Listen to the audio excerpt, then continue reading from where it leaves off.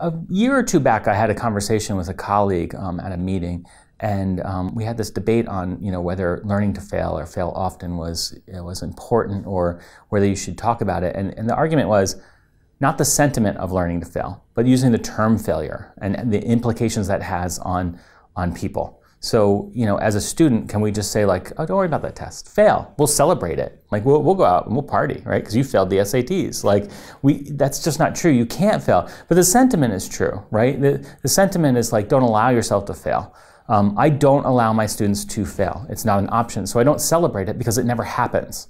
Um, they, they might come up against an obstacle that they can't overcome.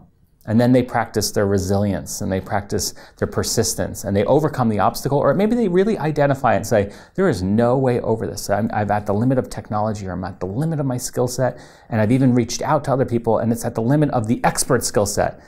Well, I've identified it, and now I'm changing my direction, but I'm not just giving up because it's hard, or I'm giving up because I don't know the answer.